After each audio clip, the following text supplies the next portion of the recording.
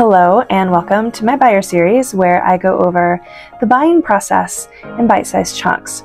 So, in the last video, I went over the history of buyer agency and the NAR settlement.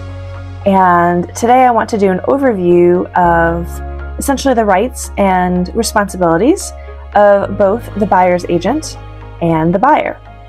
So, the agent needs to understand your needs as the buyer establish a contractual relationship, help arrange financing, locate property, disclose relevant information, assist in establishing value, help negotiate the purchase, and just overall manage the process and arrange closing.